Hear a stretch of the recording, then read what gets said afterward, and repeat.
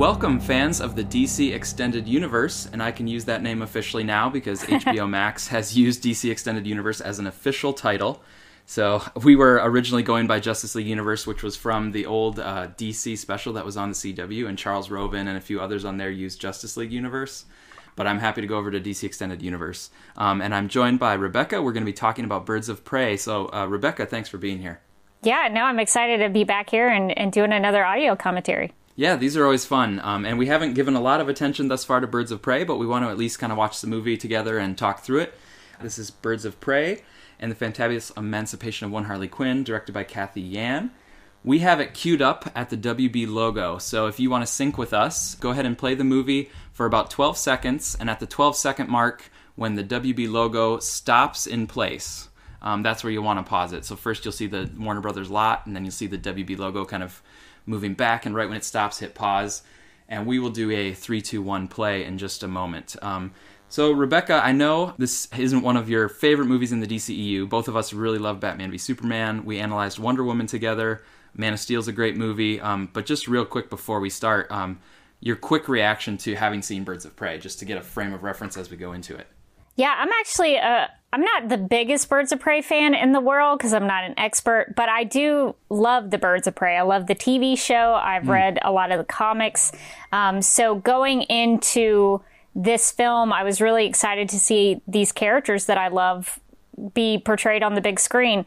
I thought the the filmmaking itself was really good. I liked seeing, uh, you know, a perspective of a of a filmmaker. This is Cathy's take on these characters. And so mm-hmm. I always respect that no matter what I think about the storytelling choices or the techniques used. Um, I appreciate it from the, the filmmaking standpoint that it, it looks like it's her film. Yeah. But there are some choices that I I don't know that I would have made in terms of the tone and the way they treated some of the characters. Yeah. But I, I think it's a well made film, so yeah. I'll give it that. And I think it's a it's a good look into what someone sees when they see the Birds of Prey characters. So um, so I do like it from that standpoint. So it's maybe maybe she didn't make some choices I would have made, but right. uh, I I like that I get to see her perspective on them. Right. Yeah. Such as creativity, right? Sometimes you can disagree right. with the choice, but still respect that they made their choice.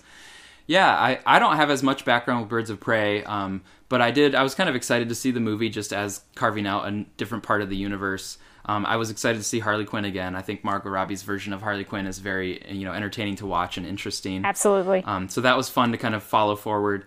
But I was pretty open to it, and uh, I enjoy it. I think they leaned into Harley's personality. I think with some of the like film structuring and stuff like that which is not a typical way that you would structure a movie, but I think they're kind of drawing inspiration from Harley's personality. So I think it's kind of fun to follow through.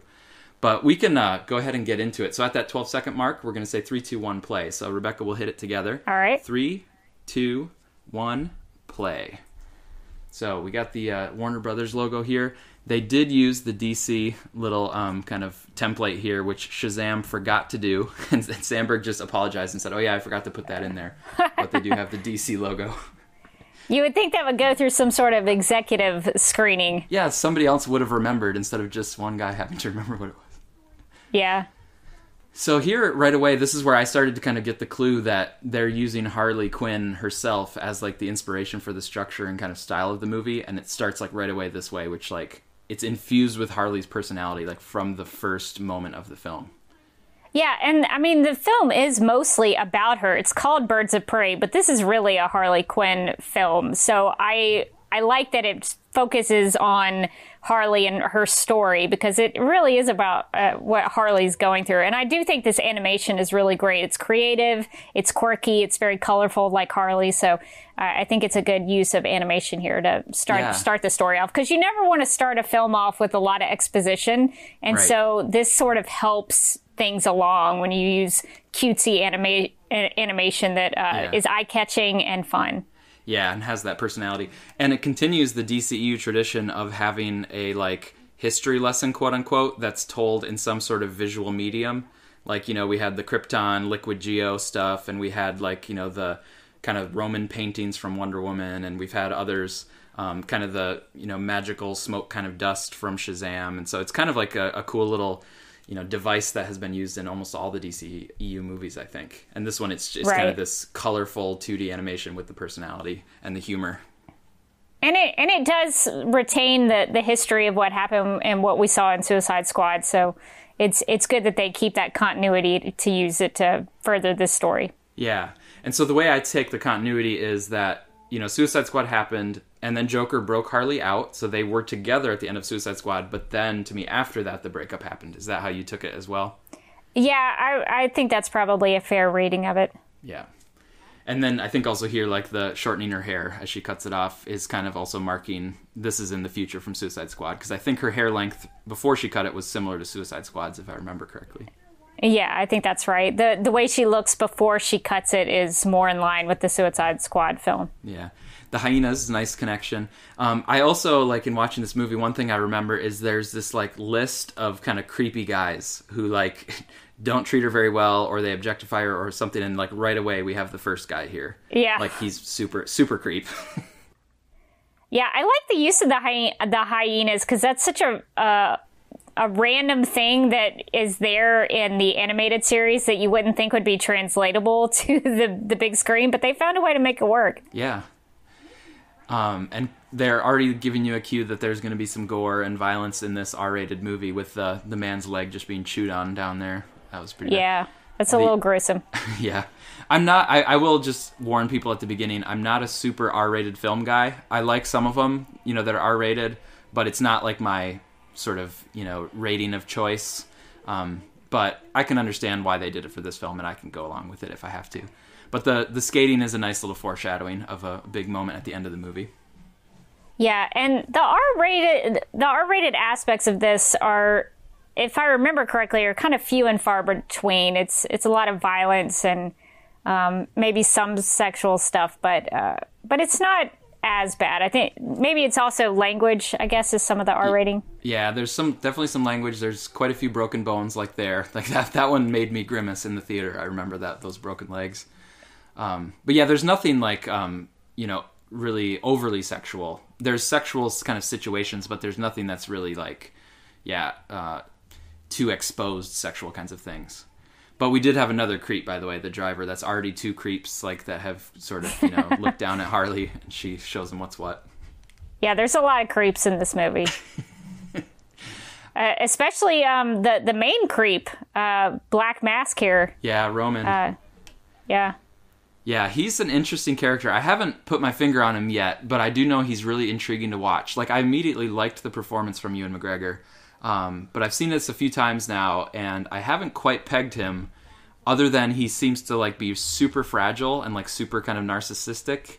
Um, but yeah, he like his whole world seems like it's about himself. He never seems to give a thought to like other people. It's almost like other people don't really exist. It's like you know he's all about his possessions and his standing and his stature and whether he's pleased or not. Um, but I'm still trying to kind of figure him out. Yeah, who who doesn't love Ewan McGregor? I just he's one of my favorite actors. So yeah, he's fun to watch for sure. I, I enjoy him in this film, and I think he had a good time with the character. Like it really seems like he had fun with the role. Yeah, and, and this uh, montage, this sort of fast forward going through the, the night at the, the nightclub is a good yeah. way to track the the actions of what's happening without having to show everything. Yeah, and they're it's a good choice right and they're definitely letting you know again kind of like the colors you know like this reds and purples and um, the greens right there like i feel like oh, Cathy yeah. Yan and her team were like super aware of what colors they were putting on the screen like look at that nice purple off to the right Yep. Um, it's it's like almost throughout the whole movie, it's really something that really sticks out in this movie, and they they kind of let you know that they're working with a really rich color palette and like vibrant colors. Um, but they also kind of let you know that they're going to have some visual gags, they're going to have some humor gags, like and some violence and broken bones. So they're definitely like you should it should be very clear to the audience like what the tone is that they're going for right from the start. Yeah, and I think that's a good choice for a, char- uh, a film that involves Harley Quinn as a character because she is colorful and larger than life. Yeah, and and there and she I had like, a, a, little emotional depth with hearing the the women talking about her. Yeah, yeah like with, for one, one thing I noticed, like when guys are creepy or guys are saying things to her, she basically just like throws it back at them or takes care of them. But when those women were talking about her, it kind of like hit her more, hit her more like in the feels. Well, I'll tell you, as a female, as a woman, it it does cut deeper when another woman says mm. something negatively about you. There's just something about that that is is more hurtful. So yeah. I think that's a good way for them to approach it. So there's nice connections to Suicide Squad here, uh, like direct footage from Suicide Squad. Squad. Yeah, we get a little Ace Chemicals. Yeah. And I think this is a nice, you know, big cathartic moment. So like if we're going to track, you know, like Harley's arc through this movie, you know, it comes off to a big bursting start with the Ace Chemicals explosion. She's saying she's trying to set off on her own, but it's going to take her a while to actually get to that point where she finds a kind of place for herself on her own. Um, I thought that was genius with the boot, by the way, like putting the boot onto the gas pedal, and then that sets it up where she has this really cool limp, uh, a limp coming up as she's walking away from those colorful explosions. Yeah. I thought that was just genius. To, the limp to me kind of makes this whole scene sort of like pop out even more. Yeah, it makes it more memorable. Makes it a little more dy- dynamic. It's not so normal. But yeah, the the colors of the explosions, even with the greens and the there's a little bit maybe purple in there. Yeah, but it defi- seems, definitely with the greens. and that looks like a comic book panel right there, like a Oh, yeah, splash page of like the colors behind her and her looking right at you know right at camera. Yeah, and that's a great way to bring in the the logo of the the title, the title card. Yeah. Now here we start to get the kind of nonlinear storytelling of just going a few minutes earlier. Um, it's kind of you know frenetic and stuff, and it moves us around quite a bit. But for me, I try to just think of it, like I said, as like Harley's way of telling the story. And Harley isn't just going to tell it straight through. Like Harley's going to jump around as things occur to her, and she's like, "Oh yeah, I forgot this, and I forgot that. Let me tell you about this." So she pops around because she's a little bit crazy like that. Well, and there's something funny. Even the four minutes ago to me is a, like a funny gag because it's not Yeah. it's not something that we have to go back a while. It's like no, it's just four minutes ago, just four minutes before this. We're we're Yeah. going back. so that that even to me that seems like a Harley thing. So Renee Montoya, I've read in like different versions of Renee Montoya in different comics. Um, but I'm I'm also like you. I'm kind of open to seeing new versions of characters, and uh, I think this is cool to bring Rosie Perez in, kind of like a you know somewhat of a well-known actress, um, and putting a new spin on it. And how right in this first scene you kind of find out like she's more in tune with things and has a keener eye than the other police officers and the other detectives, and so she's kind of competent, but she also has a lot of issues in this movie. Like she has her work problems, she has her drinking problems, she has her ex, you know, ex-girlfriend problems. So she's kind of a messed up kind of character, but she's also like she sees things a lot clearer than other people do. Yeah, she's a flawed character, but she's good at what she does. So uh, that makes me respect her a little more and care and care about her because she is going through some things. Yeah. Here we get a little bit of an intro of uh, who will become Huntress or who we will find out later is Huntress, but we don't get a lot of Huntress in the beginning of the movie. Like this is, you know, a little bit of her, but Huntress really doesn't come in till the really later parts of the movie. And and the way the stylistically the way that it's it's sort of Renee telling the story of what she thinks happened at this crime scene where where it's mixed in where with us seeing the crime happen I think that's a really cool filmmaking uh, technique there so that we Yeah. get to see that while Renee is figuring it out I, I really like that choice Yeah, that was cool, and it made it more memorable. Like it made it memorable that that scene had happened and who did it because of the way they inter- interspersed it. To me, Yeah. it made it like pop out more as I was watching it. And this is cool, like too. Yeah, so Montoya like figures out right away, like, well, this means this, and she can draw the like correct conclusions from stuff. Yeah, she's a smart character. Rosie Perez, I think, does a really good job uh, portraying her as this sort of hardened, uh, wise cop Yeah, who's who's probably seen a lot of stuff there in Gotham. yeah. so we met uh, Roman in his club, which is kind of one side of him, but now we're seeing Roman, you know, in the dark underbelly of his his crime operations and his sort of him and Zsasz's weird kind of like thirst for violence. It's pretty creepy. Oh yeah, this is another like nonlinear one. Like he says, like I gave you a good pitch, didn't I? And like obviously he's cutting his face off, and it's not till a little bit later that we'll see like what the pitch was and what Roman was trying to do. So again, it's like kind of out of order. yeah, I, I like films that do that. You have to pay attention to it. So uh, that that I, I like the ability to tell a story in a new way. Okay, that face is kind of creepy. But that's kind of from DC Comics. There's been DC Comics' fair share of sliced faces. They they've cut off faces and worn them, and it's it's bizarre and gross and terrible. But Yeah. that is uh, something that has happened. um, this version of Zsasz, I think, pretty quickly became my favorite version. Um, I mean, there's been a couple good ones, but um, this guy, uh, I think is I wrote down his name. Let me see if I can remember what the heck it was. Chris Messina. Um, I thought he did an amazing job with Zsasz. Like he just seems like psychopathic. Like he is almost enjoying the violence, and then he is just goading Roman into just even worse places than he already was. Um, it's just a terrible character. Oh, and the you see here you start to see like Roman, like he was gonna surprise or gonna leave her, and then the snot bubble is enough to just turn him over. Like ew, ew. Yeah, that he's a monster, man. It, terrible. Yeah. There's a little glimpse of the mask, real quick. Yeah, the the only thing I don't like about some of the the filmmaking is that the idea that you have to put the the text of the character names up there. Yeah. I guess I guess it's sort of a comic booky thing maybe to do, but it sort of makes me feel like you don't trust me enough to pay attention. Yeah.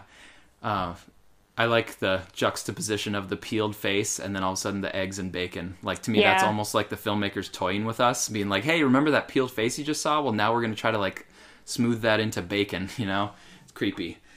But uh, Something yeah, that would be delicious to eat. right next to yeah like juxtaposed right together but no with the text on the screen i wondered about that if like cathy yan and the team if they like felt like they wanted to do that because of suicide squad like especially the theatrical Oh, version of suicide squad that they put all that text on and maybe they kind of drew inspiration from that and saying like well that can be some connective tissue between the suicide squad harley kind of you know uh, franchise That's true. There was a little bit of that in Suicide Squad. it doesn't mean it's good but it just mean that they were maybe thinking of it as a connective kind of thing Well, and I think now that you mentioned that, then maybe that makes it a little better. Um, my wife, I watched this in theaters with my wife, who and she really liked the movie, and but this was one moment that like won her over because my wife loves like breakfast sandwiches, and she's like, "Oh yeah, I can relate to this." I mean, that does look good. Genuinely, I would be uh, into eating that. Yep, definitely. And it's it's kind of a little motif for the movie, right? Like she she wants to just enjoy kind of simple things like that, and she really can't because of all the turmoil that happens. And then at the end of the movie, it finally comes around. It also makes me think of like Suicide Squad, where she was you know dreaming about some kind of normalcy, you know, and Yeah. just having a good breakfast sandwich is like something a normal person would do, and she's Harley, so she can't really ever have anything normal. She, she's got hyenas in her house, in her apartment.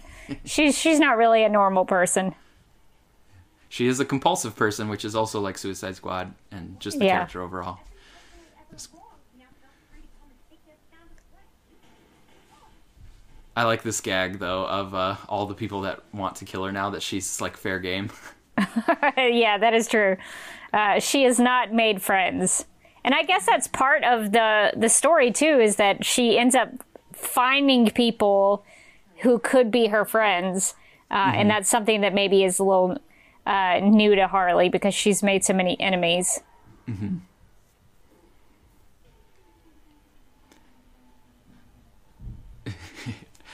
Rosie Perez's face is just good sometimes. Her facial It's- expressions are fitting. I know we've talked a lot about like daytime versus nighttime scenes with some of these films in the DCEU. Um, uh, what I like about this being during the daytime is not necessarily like, oh, daytime scenes make it good. It's uh, the idea that some of this crime stuff happens in Gotham during the day. That Yeah. that I find because you know when you think about Gotham, you usually think about nighttime and rain, and so to know that some of this craziness happens during the day too, sometimes it, that that's funny to me. Yeah, yeah, that's true. Yep, and it comes from all angles, like from above and from behind and from in front. It's just everywhere. Why would anyone live in Gotham? I don't know. the age old question. Yep. Oh, this is funny too. She's gonna smell like the garbage Montoya is. That's a close call, and oops, man. So the the winking at the camera and stuff is also something that I think Harley Quinn can get away with. Um, I don't think I would like it from some other characters if this was a different movie, but with Harley, I feel like it somehow fits pretty well. Yeah, I think some of that cheeky nature of uh, some of the dialogue and some of the the scenes and the way she plays it, I think it does fit. I'm also curious. I haven't really studied the the stuff like the jacket she's wearing, but part of it looks like a crime scene tape. Oh, and and um, I don't know what that again. is. It's almost like a like a, a rain jacket, but it's got streamers and stuff. Yeah. There was a quick look at Joker's back, at least, so he, he was in the film as a stunt double, kind of. Uh, yeah, you're right. Like there's caution tape. You're right. It's like sliced up amongst the other stuff on her sleeves. Do you, do you think she made that for herself? You think? I wonder. I, it seems like something she would make. Yeah, it doesn't seem like anybody else would make it. I'm guessing. so here's Huntress again, or the crossbow killer at this point. I like the uh, the purple in her helmet, Yep, that's right. Kind of shining off the glass. The, the purple visor. question marks. Yep.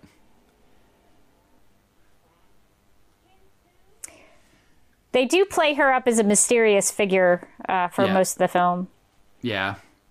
So the first time I watched it, um, I I liked Huntress a lot, but I didn't like her until the end of the movie. And like at the very end of the movie, I realized like, oh wow, I really like Huntress's character, but they really save her. Like they don't really let her breathe until the last act of the movie almost. But yeah, you're right. They tease her a little bit, and I think they were doing it on purpose. Like they know that they were holding Huntress for the end. Yeah. But I like this gag about how she smells like garbage and the all the other guys. So again, it's like guys that are just putting women down and kind of talking down to them in the workplace and stuff. Um, well, her smelling like garbage means she's out there doing her job. She's actually out in the field doing things. If they're just kind of sitting around pushing paperwork, they're not seeing any of the action. Montoya Yeah. is the one who has to, you know, change her clothes and get to smelling a little better because she's actually she's actually out there doing stuff. Right. And then here's the guy that took credit for some of her past work. So again, there's there's definitely some kind of like gender dynamics in the movie of, you know, the way that the guys talk to and the way that guys treat women and then the way that men sometimes get credit for women's work and stuff. It's definitely woven in there. Um, I don't think they ever like, you know, hit the audience over the head with it, but they just definitely sprinkle it throughout the whole movie. Yeah, I think it's done fairly well in this film. It's not too preachy. And I think the reason it's not for me is that you actually see Montoya trying to do her job and she's doing it well. And uh, sometimes you have to when you do that, even if even if she wasn't a woman, you could still put a guy in that position and him still being dismissed by his superiors for not being good enough and it would still Yeah. be as just as a com- you know compelling story so i i like the way that it almost doesn't even seem like they're playing her as a woman in some respects because Right. even if she was a guy it would still be a struggle Yeah, and it would be like more preachy if they had a scene where Montoya like chews out the captain and says like you took the credit for this and that was actually my blah blah blah and you know you've been stealing my thunder. Like if she had that scene it would be kind of too preachy. But instead what they do is like I remember later there's a scene where Montoya just says to that guy like captain, you know, and she kind of like enunciates his title because like between them they know that he got the promotion because of that. But all she Yeah. needs to do is just say captain you know and so to me that's like a much more subtle way to just spread it in there yeah and also uh, that Bertinelli sequence uh, was really great. Uh, the way they sort of wove some of uh, Helena Huntress's backstory in there made it. Yeah. Um, I think one of the reasons that I have problems with because Huntress is one of my favorite DC Comics characters. I, I cosplayed as Huntress one year at Dragon Con. I was I was terrible. I made my own costume. It was awful. But uh, but just to feel like Huntress for a day was awesome for me. Yeah, cool. Uh, I, ca- I carried away uh, around a you know a toy crossbow and all that kind of stuff. So I like Huntress a lot, and so my conflict with this film is that sometimes they would treat her as a serious character, and sometimes they don't. And we'll mm-hmm. we'll get to that a little bit later because there are a couple scenes where they they don't take her quite as seriously. But I like that sequence with the Bertinellis to, to show kind of where she comes from Yeah. and what her whole deal is.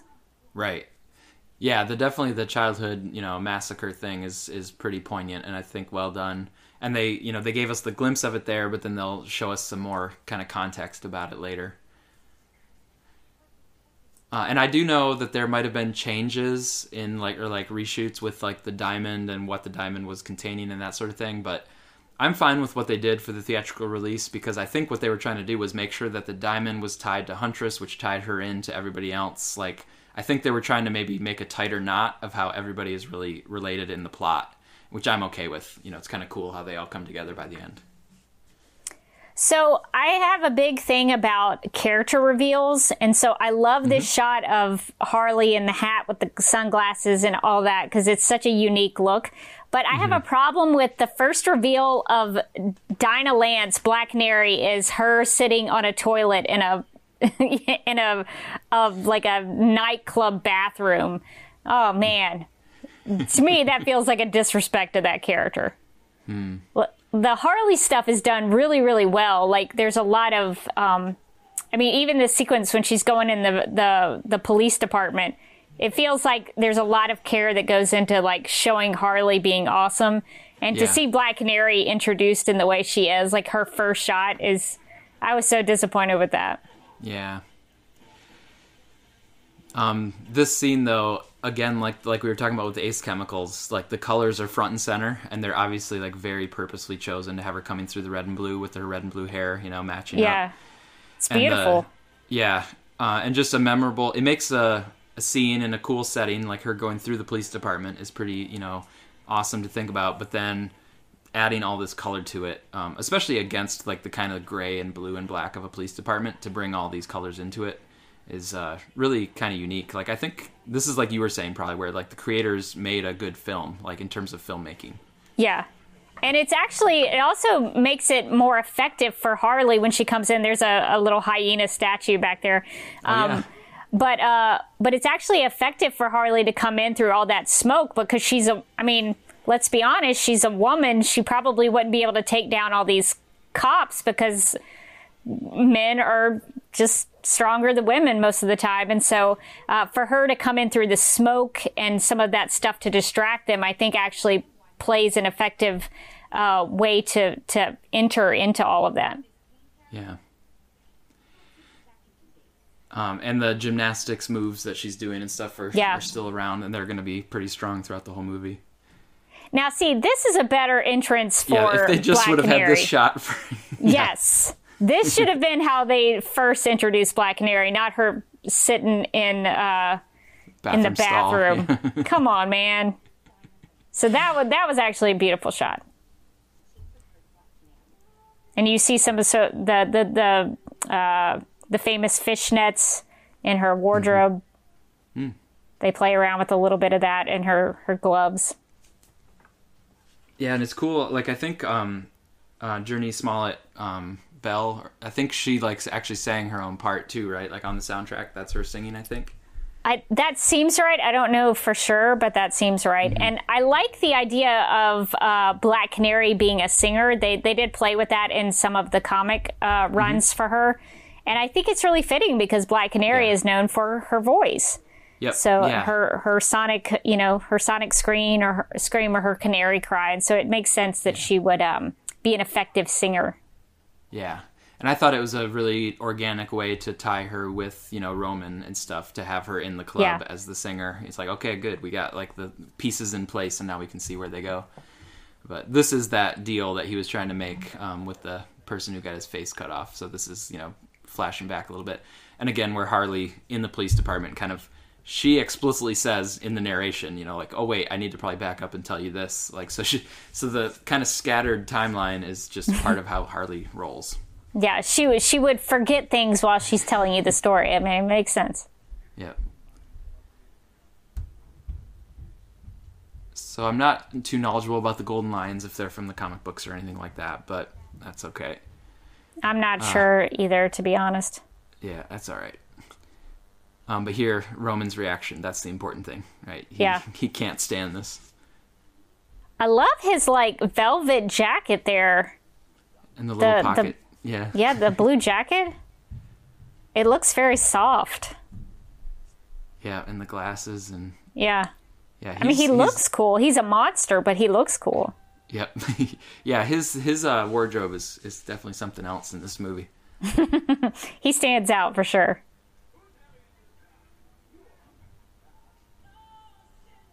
I'm interested in the the hands with the eyes uh, behind Black Canary. Yeah. Um, because a lot of times when you see eyes like that in a story, like I'm thinking about The Great Gatsby, things like that, where uh, when you see eyes like that, it's almost like the all seeing eye, like God is watching you kind of thing. Um, So that's kind of what I see when I I see shots like that. Yeah. You see a little glimpse of the canary cry breaking the kinda, glass. It kind of makes sense to me because, like, Canary is watching Roman, and she kind of watches him and watches him, and she gets more uncomfortable, and then she kind of decides to finally, like, you know, turn on him and stuff. Yeah. So to me, she is kind of in the position of watching what he's doing, and then when she's had enough of it, she really can turn the table on him. And and physically, just from her position on the stage, she can see everything. Mhm. And at first, she's an observer for quite a while, but then, like with Harley, she's an observer, and then she decides, well, I really need to act and, and intervene in just a moment here with Harley. And the same thing with Roman. She observes Roman, she observes him, and then she finally, like, she finally tries to tip off the police, and then she finally, like, actually just takes it into her own hands, you know, at the end. Yeah, she metaphorically gets off the stage and goes into the crowd Mm-hmm. and is among the people. Yeah. No, I think she's a. You know, I, th- I agree. There might be some ups and downs with how she plays through the whole movie, but overall, I definitely enjoyed just having a Black Canary in the universe. Oh, I think she did a great job. Uh, there's a there's one scene that we'll we'll talk about when we get there, but uh, there there was a scene in this film that made me wish I could see more of her um, because I, I think she did really do a good job as as Black Canary, and yeah. some of her interplay with some of the other characters was really good. Yeah. Yeah, I think her kind of like very calm demeanor and she's just kind of cool and, and like always even keeled, I think plays off well against Harley, who's just kind of crazy frenetic, and then also off of Huntress, who's kind of like rage filled sometimes. Um, so I, I think that the mix of personalities is pretty good. Yeah, and I always sort of see Black Canary as one of the leaders of Birds of Prey.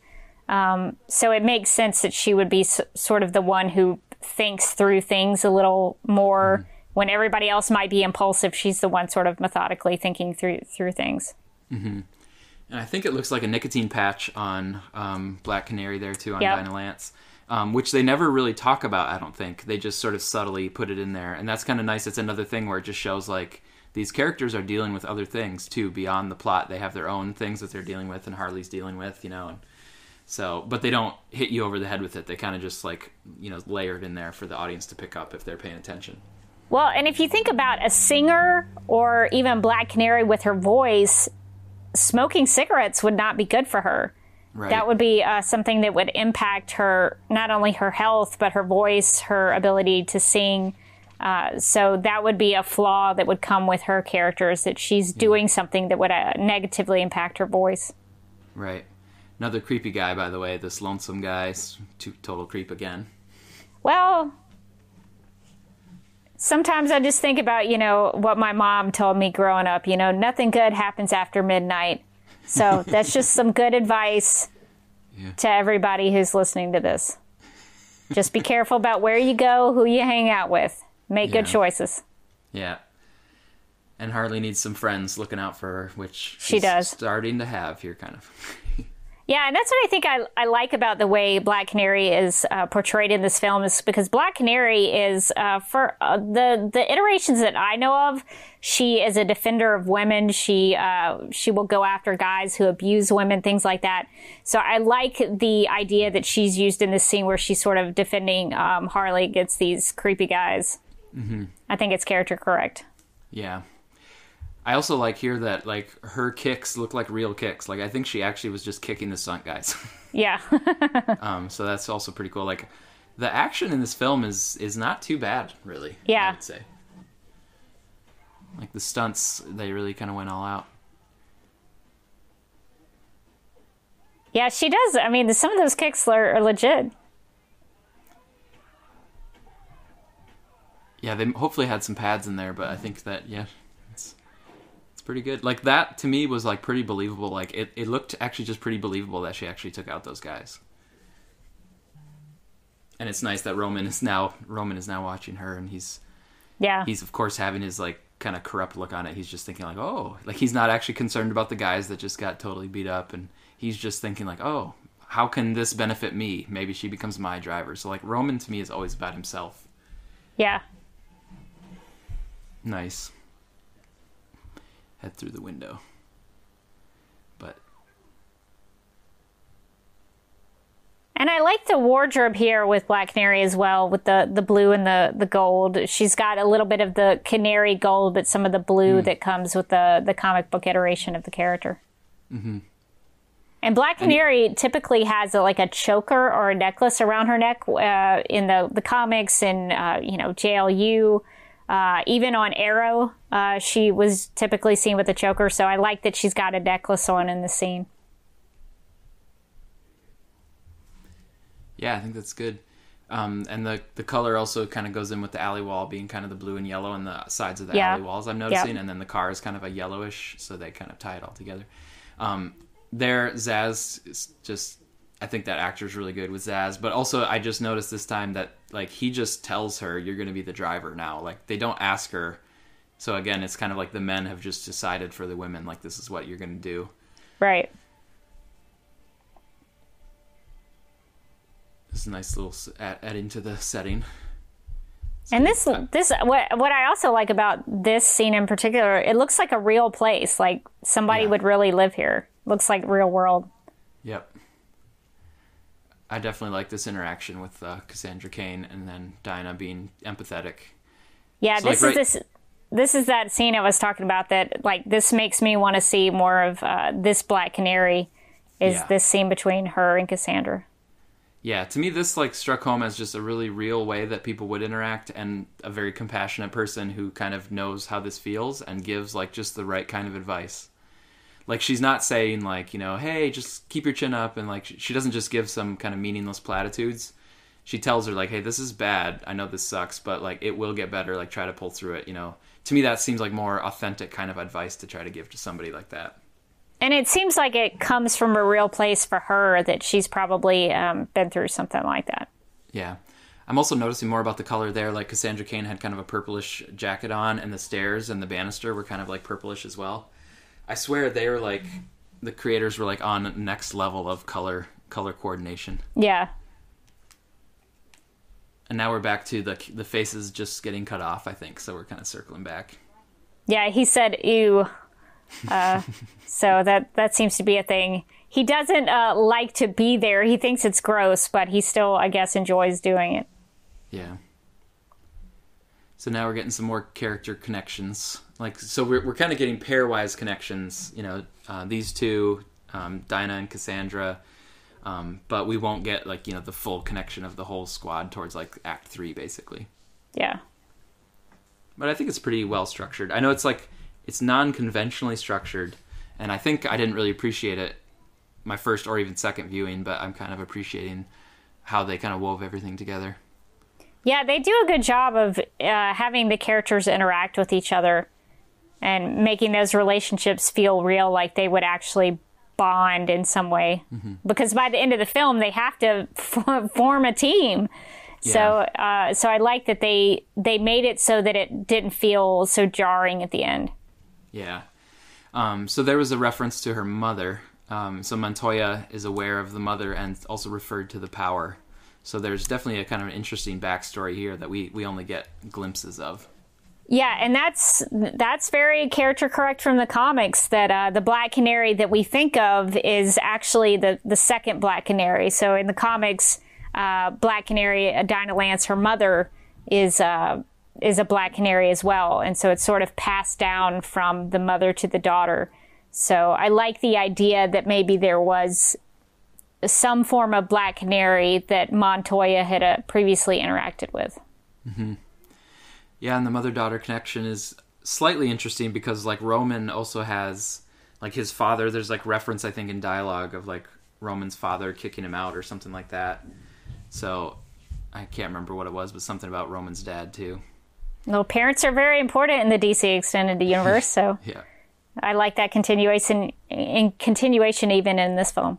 Yeah, this set is an interesting set, um, like a villain set, kind of with his statues and his shrunken heads and his masks, and so the mask obviously has the connection there, but kind of just a creepy like like what kind of person would enjoy this kind of setting for yourself? yeah, well, it is a villain lair. You know, gotta yep. gotta really embrace that villain lair vibe. And now the windows kind of match his pants and jacket somehow. Like yeah. Using that light and that color. Yeah. Oh, and even on the table, there's even that same color. That's wow.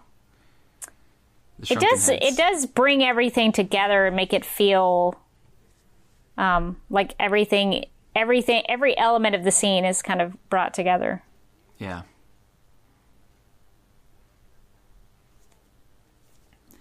I love his just way of speaking. There's the you again.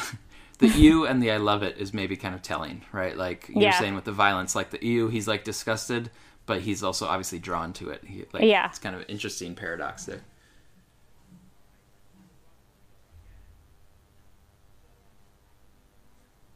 this is an interesting statue of himself. that he has. Yeah, I think you're you're right on with the the narcissism. You know, who who would make a statue of yourself? I I don't think I would. Nobody would want to see that statue. Yeah. So okay, so Joker and Harley broke up. So now Roman knows about this, and so he's gonna say like, "All right, what do I want to do with this? She belongs to me." That's interesting. That's a, a good character moment of uh, Dinah studying the the statue there. Yeah. So again, Roman's like, "How is this about me?" And then he's do as you're told. Yeah, this he's definitely. I think I have him pegged pretty well with everything is about him. I think that's going to be pretty consistent.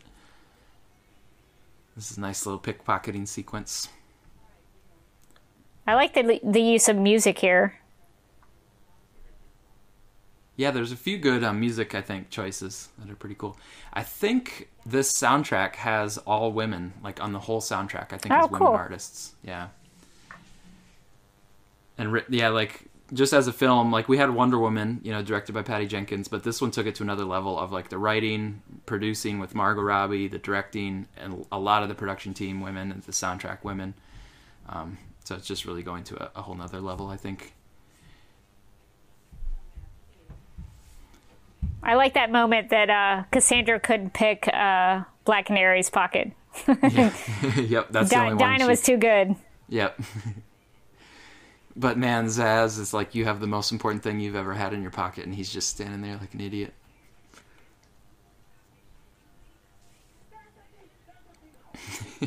Not very smart for Cassandra though to go back around to the spot that she had already ripped off. Yeah, You you're not supposed to go back to the scene supposed to of the go to a different crime. direction. What is she doing? yeah. And I gotta tell you, I love this look. I know I'm talking a lot about Black Canary's like clothing and stuff. Uh-huh. Yeah, yeah. But uh, but this blue suit, I don't know that I would wear like the top there under the jacket, but it's a cool like use of color and the styling is so good, and it really Yeah. looks good on her. Yeah, I agree. And she looks like somebody who would work like kind of at a nightclub setting. Mm-hmm. And then I think Cassandra's actually clothing fits too. Like she just has kind of a baggy T-shirt on with like you know windbreaker sort of jacket or something. Like she's more of just a kid on the street. You know. And it would also be something she could hide stuff in. Yep. Yeah, that's right. Pockets and Yeah. baggy. Yeah. People aren't going to notice it if it's a, a little baggy. Swallowing the the diamond is interesting. That's going to kind of be a big plot point for the rest of the movie.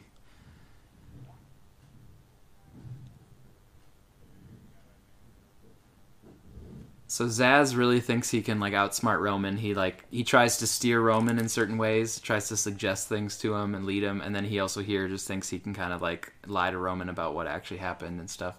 Like I think Zsasz he he works for Roman, but I think Zsasz thinks he's actually like in charge of things and he's actually running the show. Uh, because I think Zsasz thinks he can just pull Roman strings.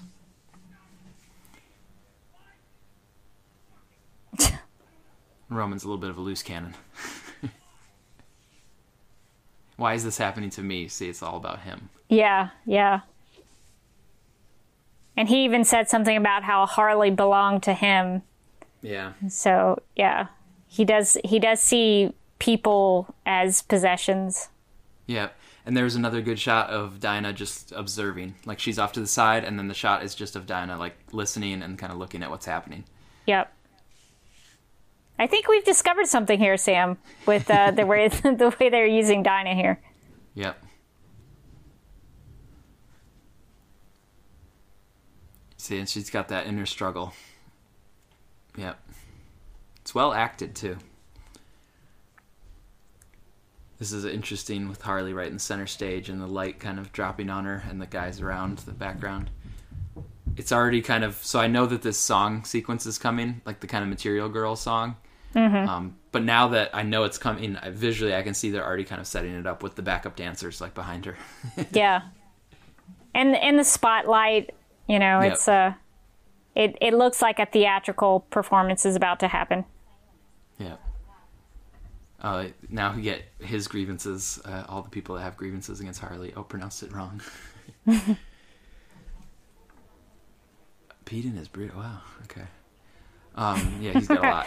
Yeah, we're, the co- we're I wish we could stop and go through all those. Somebody will, I'm sure, online. there there was a lot going on there. So the the pink kind of like the fluorescent pink sort of thing is really popping out because it's almost black. You know, this scene is very black. Yeah. Um, but then it makes Harley like almost fluorescent. Well, and she's the the only colorful thing in the room. Yep. I like this how she, I like how Harley just does not put up with the kind of typical villain tropes. She just like cuts right through it with her sarcasms. Well, she probably knows about villain tropes, having yeah. been with the Joker and Yeah. done all sorts of crazy things.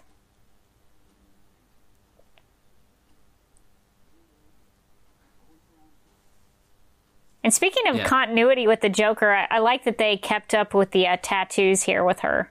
Yeah.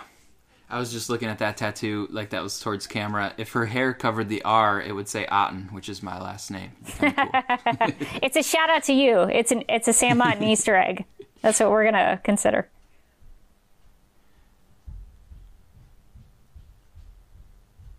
so that's good too. With the earlier we saw the face slicing scene, so that makes this a little bit more threatening to have Zsasz coming in because we like know what happens in that situation.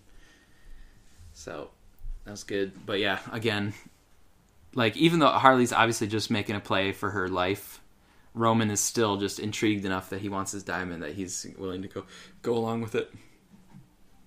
And to your point card. about how they're um, setting up the the theatrical aspect of the scene, um, you know, uh, Roman is sitting there eating popcorn, so it's almost Mm-hmm. like he is he's waiting for some sort of performance to happen. Yeah, that's right. Oh yeah, yeah. He's like he's sitting down in the audience to watch the show. Also, I've heard in a lot of movies, like to make your villain unlikable, have them eating food because it usually kind of annoys the audience. You know, if he's smacking on popcorn or something. Interesting. I'm gonna I think to I go first heard about that and, in uh, Lord of the Rings. Like I think in uh, ah, the Two Towers, I think there's like a scene where definitely the king is like really feasting on some food, and it's like wow, it really makes you dislike a guy. And then after I heard that, I started noticing in other movies, like oh yeah, just have him eating food, and it like turns off the audience. it's really Here's the uh, Material Girl kind of, and the some classic kind of Marilyn Monroe sort of look. I think the scene is really the song choice is really interesting because "Diamonds Are a Girl's Best Friend" also comes into play big time in Moulin Rouge, which Hmm. also starred uh, Ewan McGregor. With a violent edge to it, though. A little bit.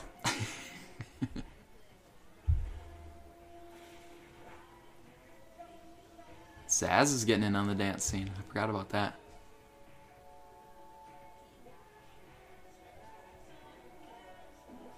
The editing here is remarkably good. Mm-hmm. Uh, cu- cutting back into the reality with the slap. That's very Mm-hmm. good. So, do you think that's uh, that's heart like what Harley's imagining while she's sitting there? Yeah, so like she, I don't think she was actually knocked out, and I don't think she's been given any hallucinogens or anything. So it's not quite like Suicide Squad where she had like some flashbacks and stuff. But yeah, I think it's basically like to her, she's in that chair, she's with these guys around her, and she's like, I can just think of this as something completely different. It's like a little bit of her kind of craziness, but maybe like her trying to process it, like trying to get through this trauma by putting herself in a, a more fanciful, kind of. fanciful position.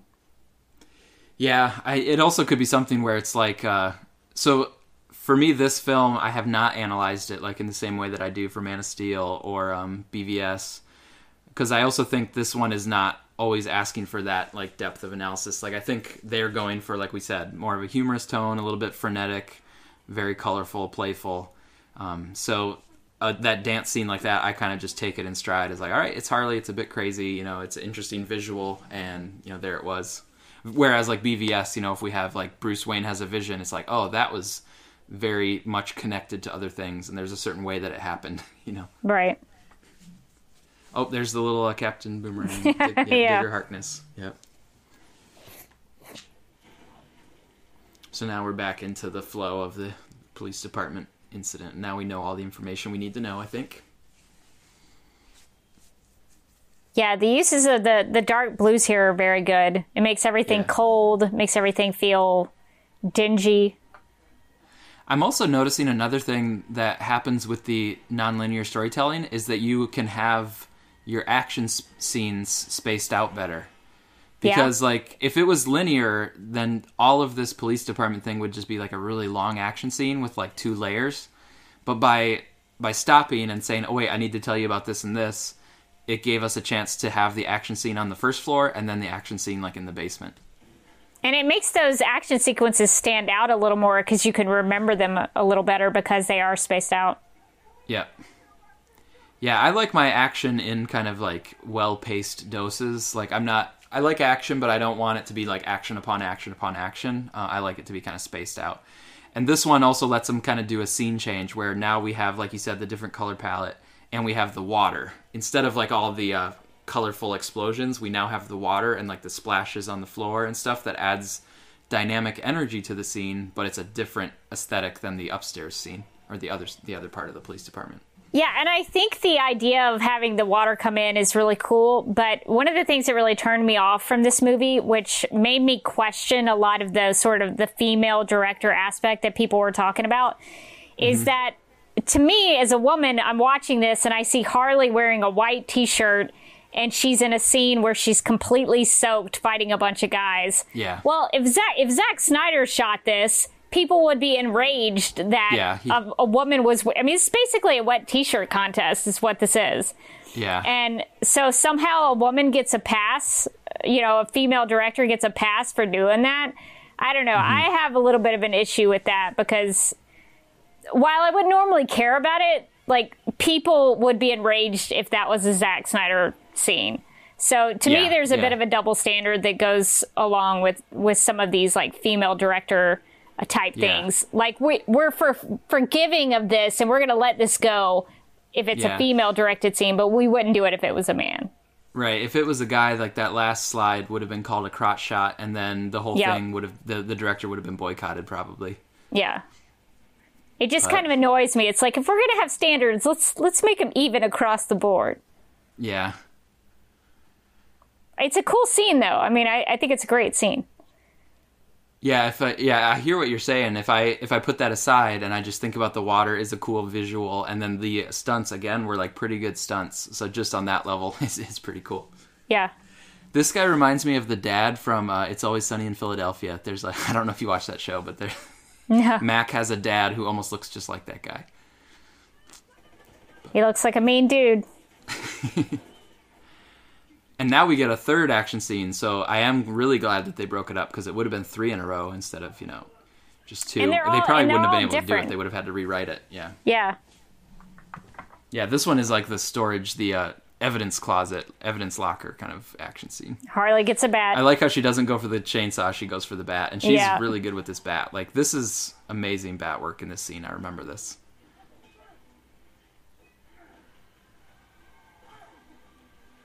And she's that's you know she's doing some reminiscent things of Suicide Squad, but she really I think in this movie her gymnastics and stuff goes to another level than Suicide Squad. yeah. I think in Suicide Squad there was never like quite as awesome gymnastic kind of fighting as this movie. yeah, and I think some of the slow motion there with the bat was really well executed because it it gave it a little bit of a flair, like the slow motion uh, return back to her hands. Because Mm-hmm. sometimes I think people use slow motion a little too much, but that that looked really nice. Yeah, and they don't do it very much. They just pick a few spots, I think. This is a good swing too. Like it's a, a legit bat swing. Well, bats and mallets are her thing. Mhm. And I like it in this movie that they have the bat, um, kind of like Suicide Squad, but they also have the mallet. They kind of give her both because Yeah. she gets a lot more time to breathe in this movie. You hit somebody in the face with a bat, that's gonna hurt. I don't care who you are. Yeah, that's another thing. Like I mentioned it with uh, Black Canary, but this one also like Oh yeah, another that. broken bone. Yeah, yeah, I like how she goes for the next one. like, Oh jeez. man. Oh, I remember when I watched this in rough. theater. I was like, yeah, I definitely felt that first leg break, and then I was really just surprised that she went for the other leg. That was That that was that guy is not walking for a long time, if at all. Yeah. But what I was saying was that how I appreciate that they really choreographed the action believably, where like, so nothing against women, but like, you have to kind of convince me that a woman could take out like four pretty strong guys. But the way they choreographed is like, oh wow, no, it actually looks like she did take out those four guys. No, I, I agree. I completely agree because sometimes people, I, it's hard for me sometimes to, because I know I wouldn't be able to do it. So I, I want to be put in that situation where I would believe that somebody like me could could take, you know, a couple of guys out with just a bat. I agree. I don't take Mm-hmm. There offense are- to that at all.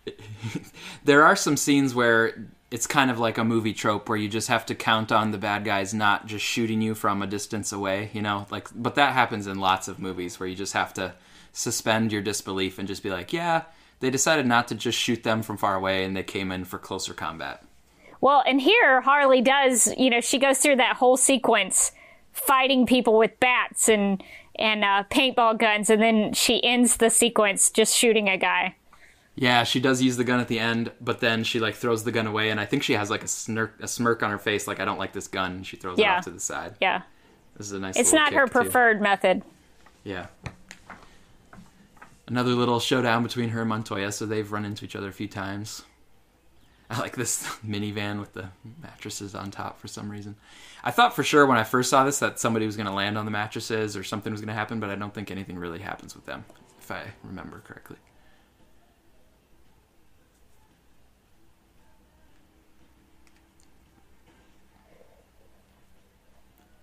This is a, this is a good use of Harley's character because it uh, her sort of taking in Cassandra. I guess they all sort of take in Cassandra. Uh, Black Canary does, uh, Harley does, and uh, it sets them apart uh, from Roman, who we talked about cares only about himself.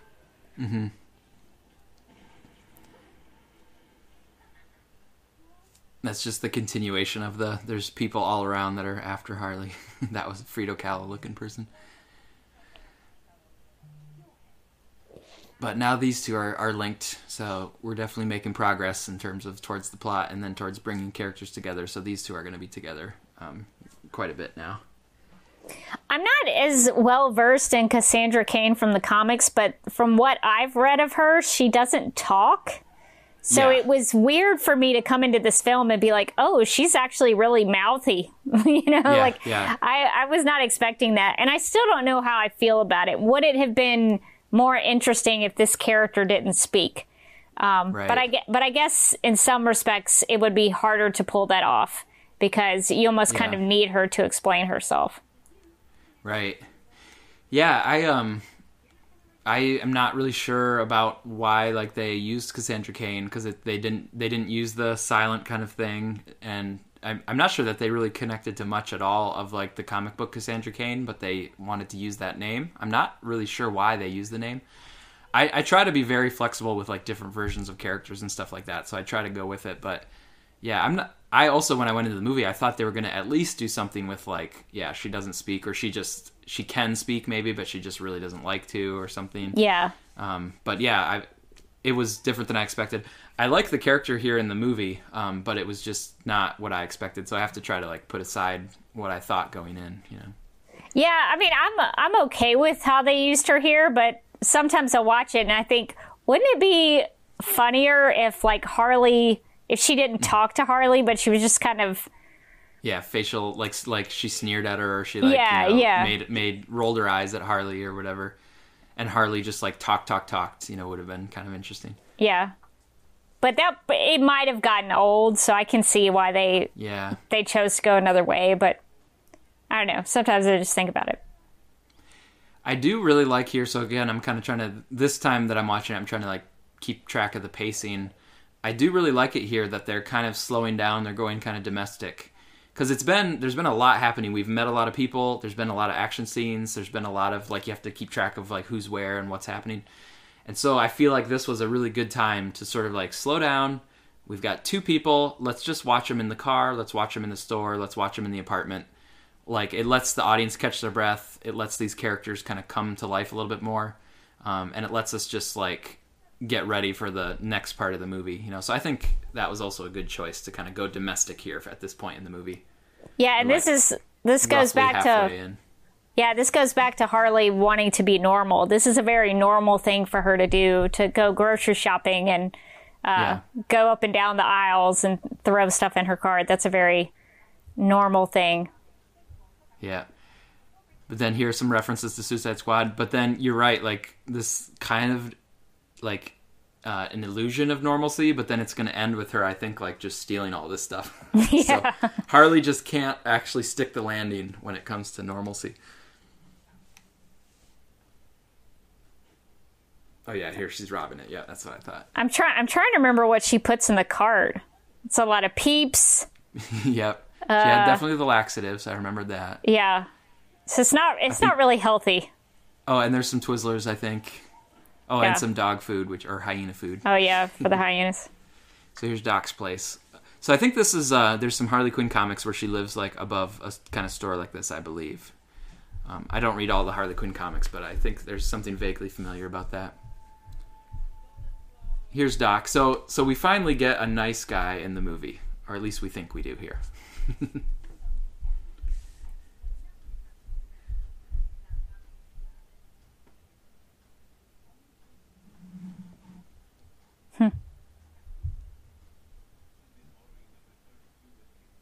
So I think there's a little kind of subtle joke here about the 32, and she says you always want the extra chili, yeah, so you don't have to taste the cooking.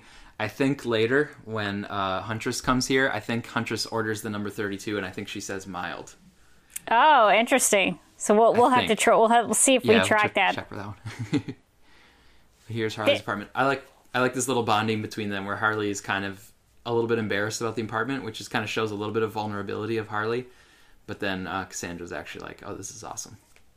Yeah, a nice little there's bonding. there's something actually really sad about Harley in terms of like her saying that Doc is the only person who's ever cared about her, and Mm-hmm. um, that she sort of realizes that maybe where she lives is not great. Maybe she doesn't have the best life.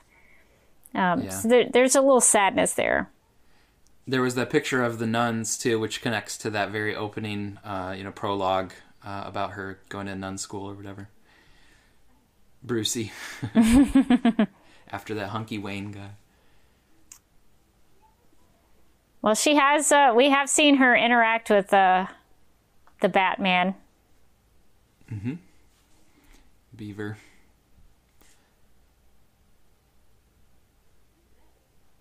I think the beaver is also a comic reference. I'm not 100% sure, but I think so. It's I don't know for sure, but it seems to me like something that would be.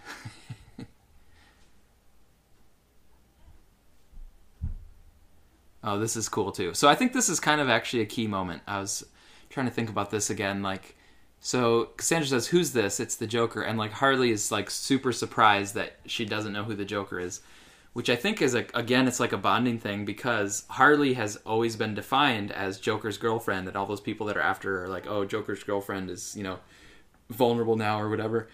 But if this movie is about her kind of finding separation from Joker, it must be like refreshing for Harley to have somebody who's like, "Oh, wait, this person just knows me as me." and is not even aware of Joker. So it's like really like a blank slate of I'm not defined by my relationship. I'm just defined by myself. Yeah, and Cassandra immediately recognizes the Joker as a jerk. Like she immediately like- realizes, like, why would anybody like him? Because he's Yeah, obviously looks not a great yeah. guy. Yeah. And then that's all and then she just turns her back on him, right? Like so Yeah, I think that's it's kind of like almost you could say it was just for laughs, but I think it actually is kind of an important thing about their relationship and Harley trying to take those steps towards finding her own kind of place. Her Here's the number 32 mile. emancipation, Yep, there it was. her fantabulous emancipation. Yeah, yeah. I like how Doc is kind of looking her up and down because he apparently knows everybody except her. She knows languages. So is that a part of Huntress that she knows multiple languages, or she's just a quick study at things like that? Or? That I don't know of, but uh, Yeah. but she's a smart character. I wouldn't I wouldn't put it past her to Okay. to learn things. Yeah. I think that's They- cool too. It reminds me of a Wonder Woman too. Of like, of course I speak languages. Like, don't you? You know, like, Yeah, yeah. oh yeah. Here Uh, we get the fuller, fuller story of the backstory here with the Bertinellis.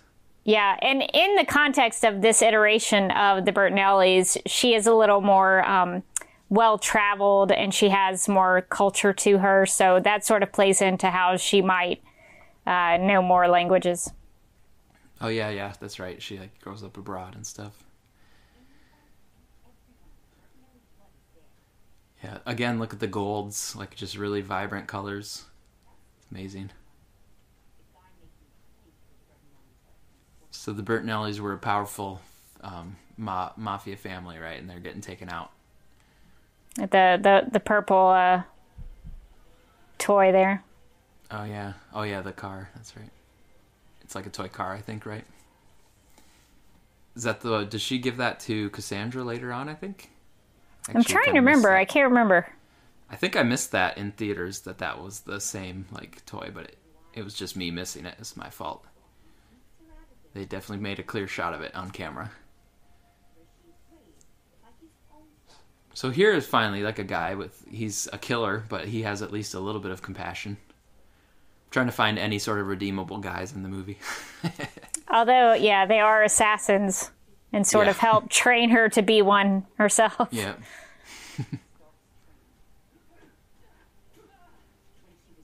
A lot of purple in the wardrobe. I'm getting another Wonder Woman vibe here of the training and Yeah. getting those skills.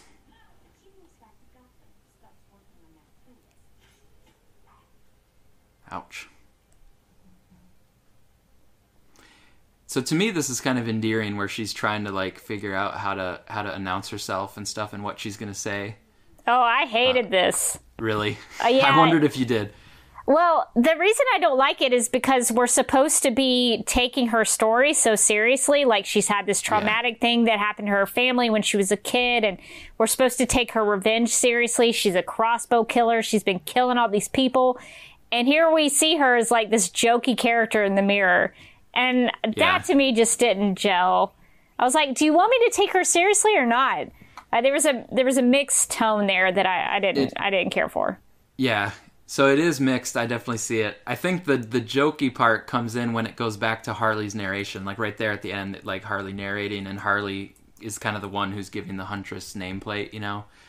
So it's almost like Harley can't help it, but kind of be a little bit silly and crazy like that, even on something that should be kind of serious and sad, you know.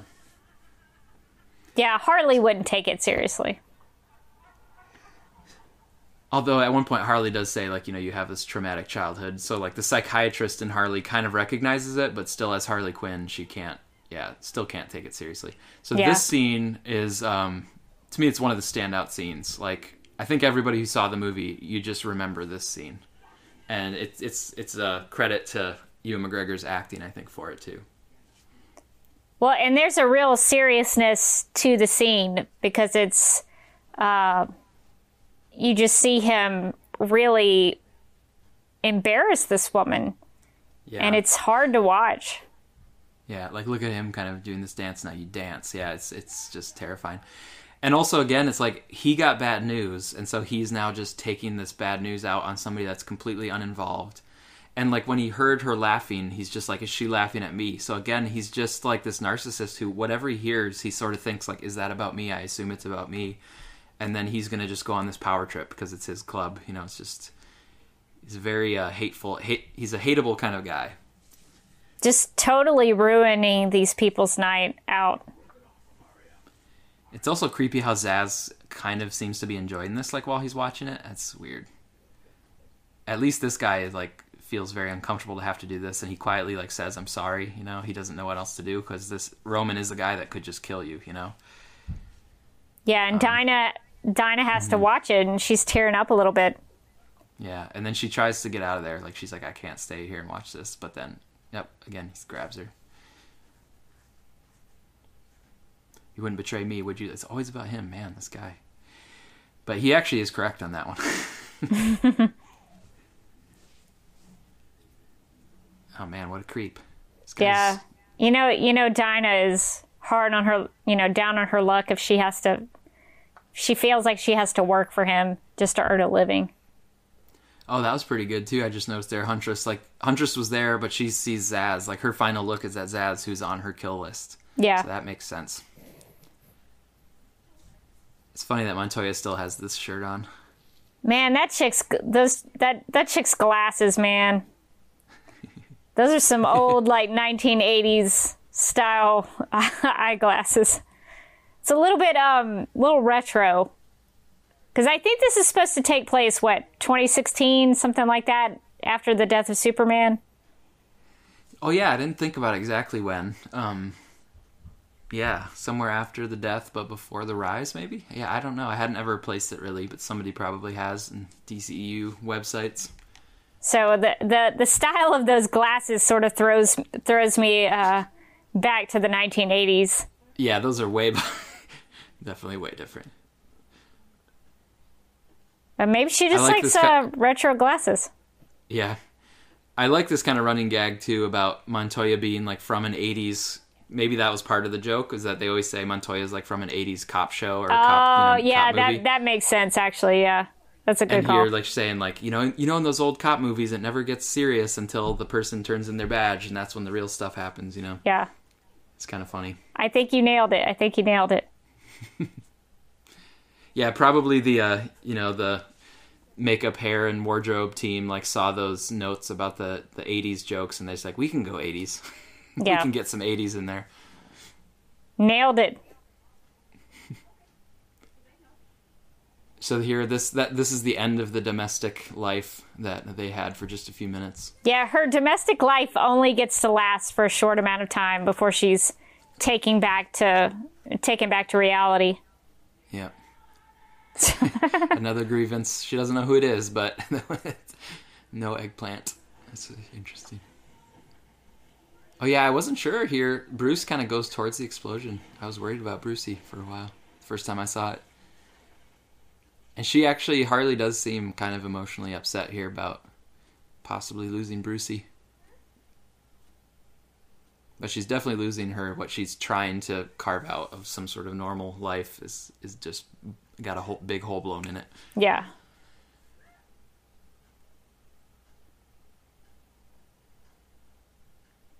Well, I guess that's part of her emancipation. She's trying to build a life outside of the Joker, and it's Yeah. literally Yeah. blown up. Yeah, yeah, she's really like really has to go to start somewhere new. She's got to give all that stuff up and find a new spot. So this is also the doc who I was hopeful might be a redeeming kind of guy, but he's too like nope, too much pressure, too much money. Like he also sold her out. The only person who ever cared up cared about her. At least he's sorry about it, I guess.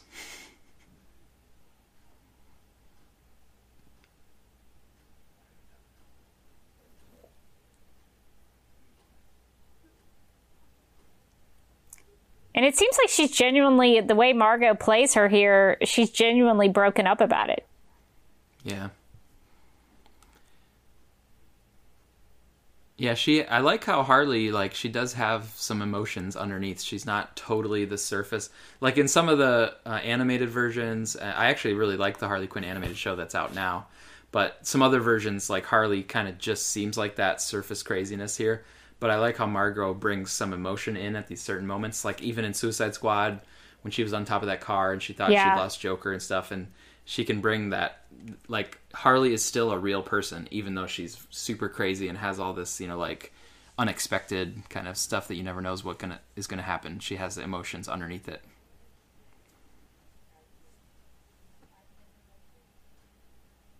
Nice use of lighting here with all the light coming out of the phone booth. Which again feels like it's maybe out of a, an 80s cop movie because you don't really see, see people using uh, phone booths today. Yeah, Um, right. Having a phone booth at all. Yeah, Yeah. th- throwback.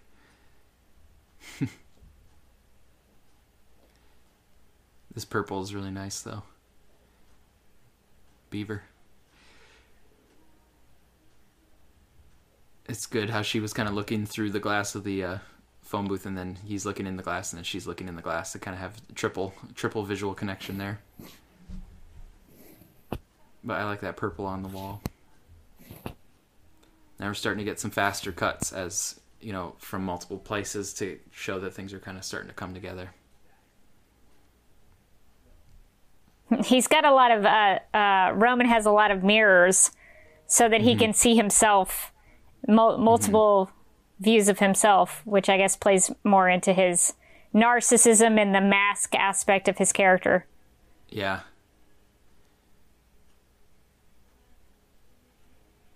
There's that drinking problem that was alluded to earlier, but now we kind of see it going on.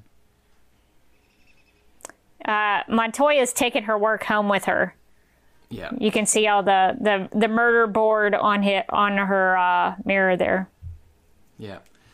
This is a nice shot. So the, not only the purple on the street, but Harley and Cassandra going down, like kind of going down out of screen, because this is also the moment where Harley is actually like she regrets that she almost sold Cassandra out. Yeah. So that's Harley like going to something that is actually a low point for her. And I like how they're actually descending down, and you're kind of almost losing them into this moment. But luckily, they get it back, you know, before the end. But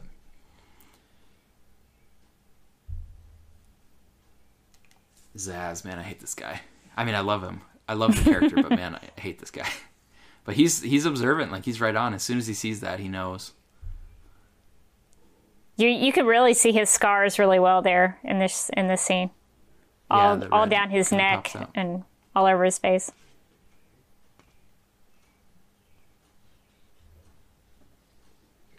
Yep. I like the uh, emotion here that Roman has. Like he's just starting to crumble inside. Like you almost see kind of the weakness of him, but he covers it up with this violence and rage. You know. Yeah, he always seems very in control. Um, but here he couldn't control Dinah. Man, those paintings are messed up. Yeah, they're weird. So messed up. Here's the mask. I like the mask. Um, I know probably a lot of people have a lot of different thoughts on the mask, but like for me, when I when it goes down and looks at it, I'm like, it looks pretty cool to me. I mean, he looks like Black Mask from the comics. This is a cool. This to me is a very Joker Harley kind of setting. Like you can't get much more Joker or Harley than this. Well, and it's also Like very down, Gotham. creepy amusement park. Yeah. It's very Gotham esque. mouth that they're going in. Yeah. That And was they're a going nice inside the they're going shot. inside the um female clown too. Right, that's right. Like this is taping her to the toilet because she's really hoping for her to have a bowel movement. See, what is it with all the the the big DC Birds of Prey characters being depicted just sitting on the toilets? I have some real Yeah. issues with that. yeah, there's there's definitely multiple toilet scenes in here. I know, and uh, Alessandro, our friend, he uh, was not a fan of the Aquaman toilet scene either. So maybe just some people don't like toilets, and That's And it's literal potty humor, Sam. I don't care for it. another showdown. They've multiple showdowns here between Montoya and Harley, but this one's gonna be the most intense. And then you're right, like so we're coming to the point where they're gonna all kind of start arriving, and I think it's set up well that they all have a reason that they're arriving. Yeah. Um, and and you're right, they've had pairwise interactions, which builds some kind of basis on which they could have the team.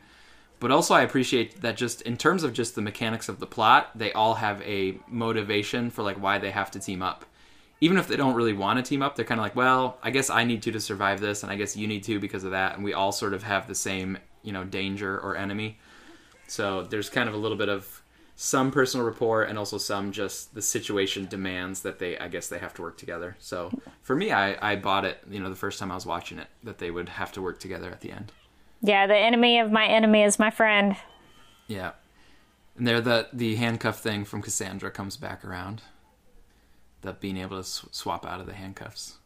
Now that when the arrow comes in, the dart comes in, like I at first thought it was Huntress, but that's actually a nice little um you know, they faked out the audience that it's actually Zsasz with the dart, not Yeah. Huntress. It's weird that Harley says bye bye birdie to uh, Montoya. Oh yeah. Seems like she'd say that more to Dinah. Yeah. And Dinah's like, she taped you to the toilet? And I'm like, Dinah, you were depicted on the toilet earlier in the film. You should be objecting to that. it's my biggest pet peeve of this whole film. Which I know is stupid, but I have issues. So we can add Zsasz to our list of creeps. I obviously he was pretty creepy before, but now he's like directly creepy to Harley. I mean, that's Um, a and lot then- of cutting on his chest. It's good makeup. At first, I wasn't um, sure that we were going to get like the full scar treatment, but then here it's like, yep, they saved it for the end, where it's like, nope, it's it's legit the full scarring thing, you know, representing his kills, and just the all the violence that he's been involved in.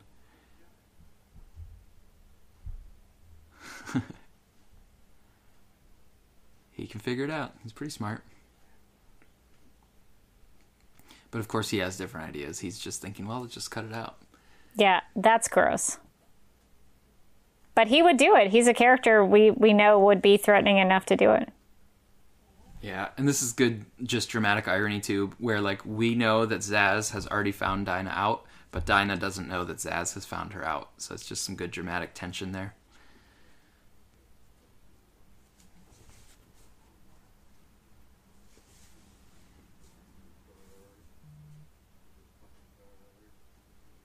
So this is this is pretty good. I remember when I was watching this in theaters, you know, like you're kind of wondering with Harley paralyzed, like is she going to do something to get out of this? How are they going to get out of it? Yeah.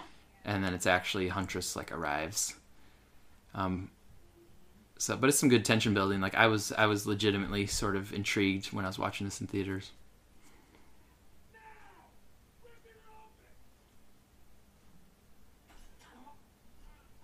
Yeah, and so that, that going into his neck uh, is sort of uh, echoing what we saw earlier with the fake out uh, with Zsasz. Uh, Earlier, earlier when we saw it in the scene. I like Harley here. She gets this Yeah, little, she's doing what she the lower can. part of her arm and stab him. Pretty impressive that Montoya got back up there. One last stab. That's funny.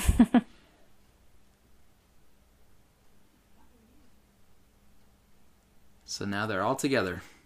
It's I like this too that they're all together, but it's in this standoff, right? Like she's pointed at her, pointed at her.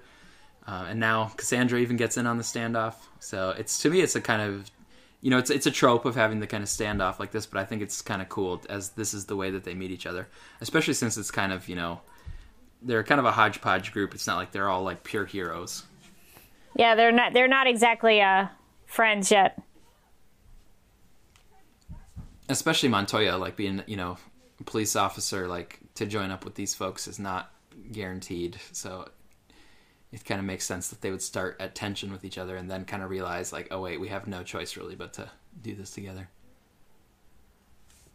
It's, it's a little bit of sort of an apology from Har- Harley to Cassandra. I think it's going to take Cassandra a little while to forgive her, but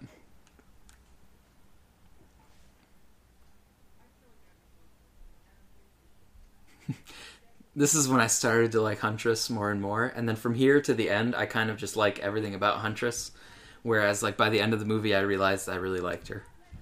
Yeah, they do a good job with Huntress's uh, wardrobe for the most part. Um, you see the the knuckle gloves uh, sort of echo the the like the gauntlets she would have on, and then the the midriff. She's often depicted with the midriff showing, and that's that's very um, character correct for uh, Huntress in the comics. Is that she's often drawn with her midriff showing.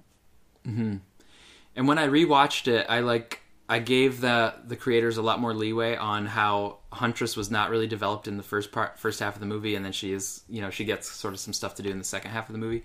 At first, I kind of critiqued that, but I give it more leeway now because in rewatching it, like Harley literally says in the middle of the movie, like, "Oh wait, I forgot to tell you about like Huntress, you know, and let me tell you her backstory and stuff." So it's like, okay, the creators like absolutely knew that they were bringing in Huntress kind of on mostly on the back half of the movie, and they just either just decided because of what else they were balancing that they had to do it that way, um, or they wanted to do it that way, you know, to kind of have her be mysterious until the end. Um, so for me, I'm like, okay, you know, my first time watching it, I sort of wanted more Huntress earlier, but now I realize, like, no, like that was a very clear creative decision that they even call out in the narration itself. And she's sort of telling her own story here. It's not like Harley's depiction of her. It seems like she's more in control of explaining herself. Yeah, so at first we get some glimpses, then we get Harley's version, and then we get Huntress like herself more. So to me, that's a progression that kind of makes sense. There's a nice little black mask coming in. And this is how they set it up for the, the team to have a bunch of people to fight is to say like Black Mask just called in all the mercenaries and said, you know, like half a million for anybody who can get the girl. Which that that to me that's plausible way to just get a lot of bad guys in there to fight. With these action movies or superhero movies, you always have to have some sort of, you know, some explanation for why there's a bunch of baddies. yeah. And this is a real like um down to earth fight. It's not like a big superhero brawl or anything. It's just mm-hmm. you know, humans fighting each other. Although one of them does have a superpower, uh, which yep. is awesome. And we'll yep. we'll talk about it when we get there, but um but it's very yep. it's very down to earth and, and practical in the way they have to fight. Yeah. So here's the here's the turn into Act Three, basically, or into the the final act, you know, of the of explicitly kind of saying like, "Hey, we we're in this situation, we got to do it," and Montoya's on board. I like Huntress here. Sure. I like Huntress. to me, it's like I, I don't know like what there are plans for after this, but I would like to see more Huntress, uh, and I also would like to see more Black Canary too. Actually.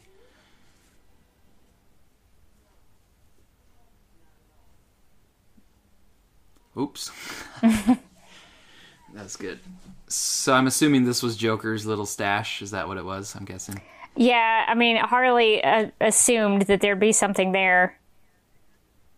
I see some ha ha ha's on the window too. I noticed yeah. over there. Um, this is kind of interesting. Where I like this little shot where we're you know we wonder what they're pulling out of that chest, and then the camera comes all the way down, and then it goes right into Black Mask. It's a nice long shot here pretty cool. Very blue out here.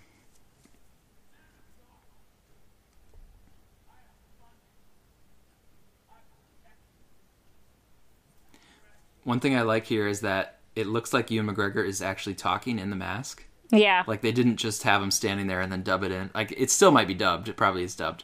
But when they were filming it, he actually was delivering the lines in that mask. Yeah.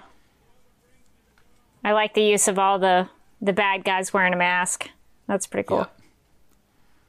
There's a nice little some grenades that'll become important later.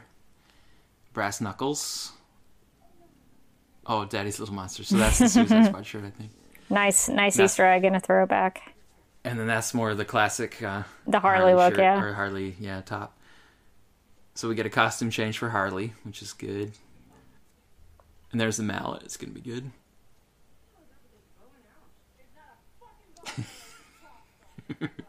uh, Huntress is good.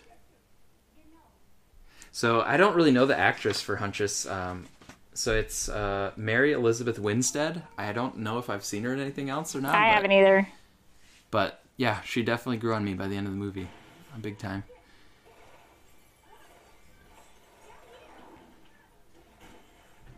I missed that. Yeah, Harley has a little bit of home court advantage here. Yeah, that's right. She like knows to go down here. She kind of knows where things are going.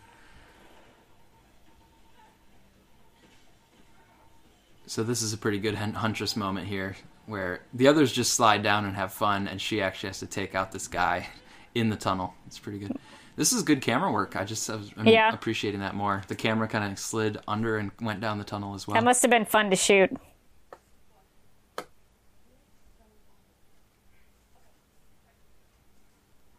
So now we're getting kind of a mixture of colors. So it's gonna it's gonna move through different colors. I think. Yeah, the lights here are beautiful. It it and it looks real, like it would be like in a fun house if you were going through like a fun house.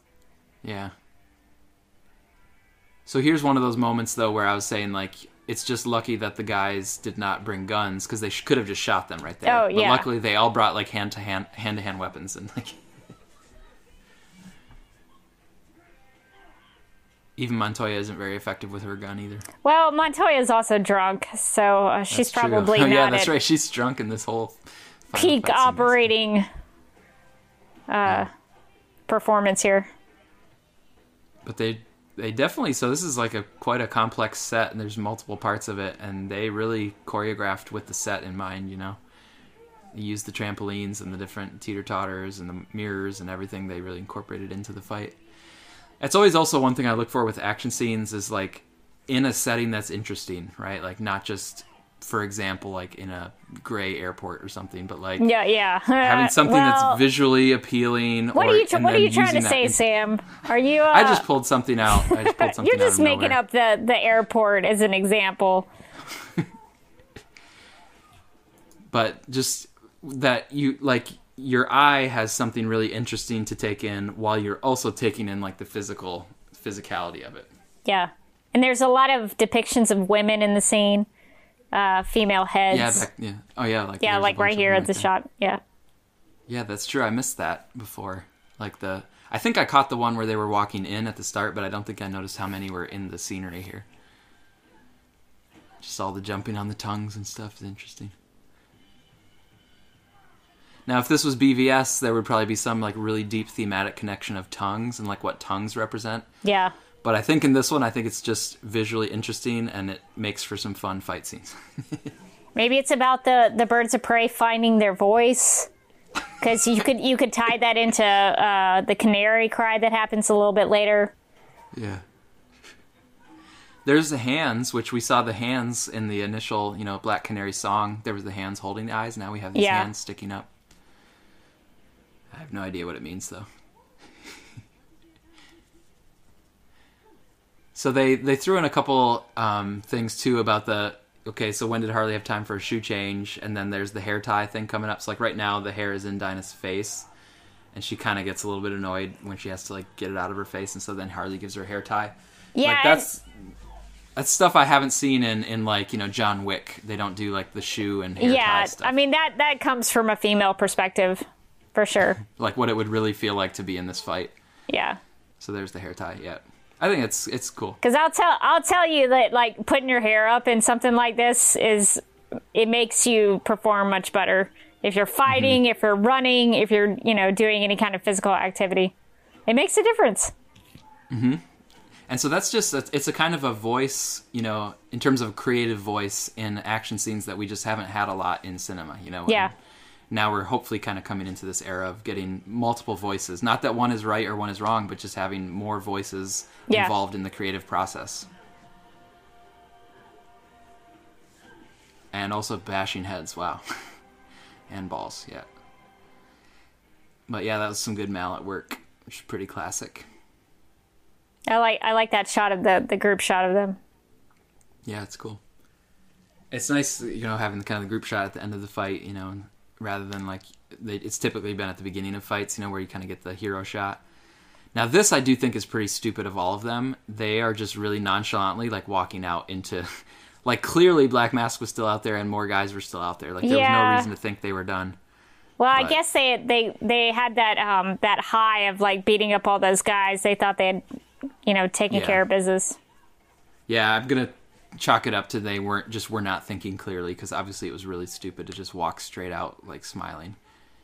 But that's cool. She she was wearing the red and black top and it was bulletproof. It's nice.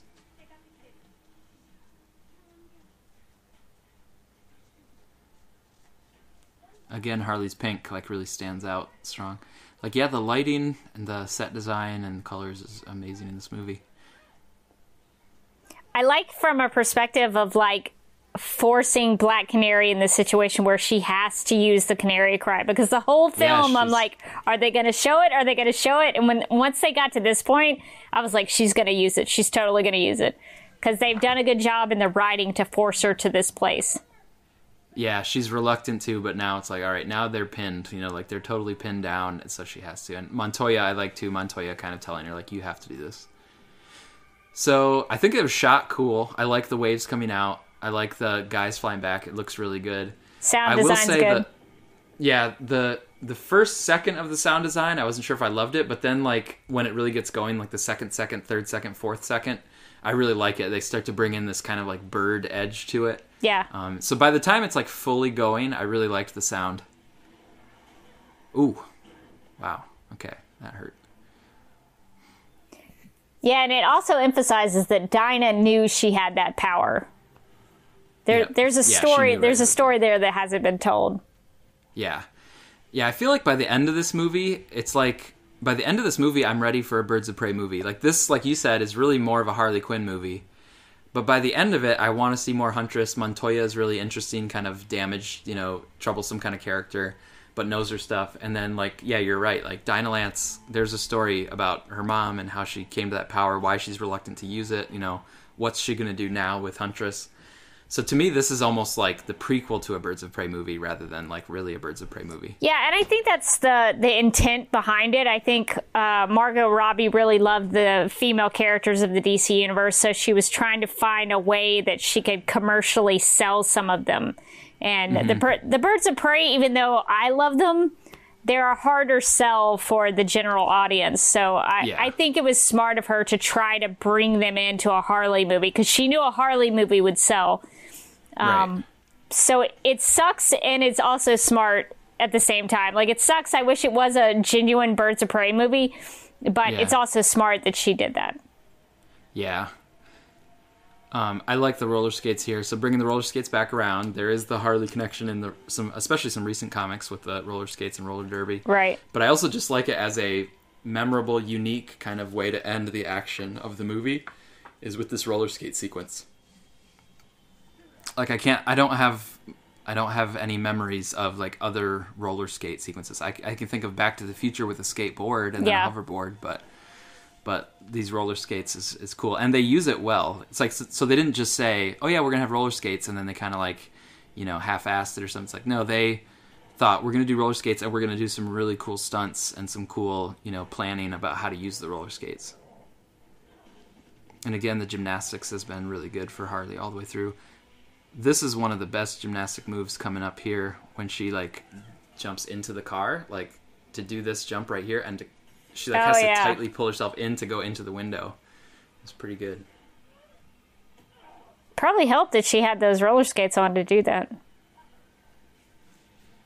she bails so she didn't know if cassandra was going to survive there i guess but she just had to bail so this part reminds me of the ace chemicals at the opening so it's kind of like a bookend because at the beginning she you know had that she left the truck she jumped out and the truck went in and then blew up like ace chemicals and here she like dove to the side and then that car went in and it also like it has this setting of what founders whatever And she's and she's Uh, sort of limping Pier. too. You mentioned the limp. Yeah, yeah, she's got the limp. You're right. So she's, but this time now, instead of like walking away and leaving behind like the Joker, she's actually running toward Cassandra, who's going to be like her new partner. You know. So to me, that's kind of this. It's a bookend visually, um, especially with the limp. Kind of, I think means they were probably purposeful in connecting them. But it shows the growth of the character from like I'm trying to leave somebody behind to I'm trying to find a new person. Like I'm trying to find a new connection in my life. And it's also a contrast to the earlier uh, example where there's a lot of color and it's sort of celebratory with the uh, almost firework look. Mm-hmm. Here she's going into clouds, mist, yeah just- darkness. just, dark fog yeah mm-hmm. yeah so sometimes that that thing that felt celebratory at the beginning yeah it's flashier it's flashier to kind of try to do that clean break but what's harder is to actually go into starting a new relationship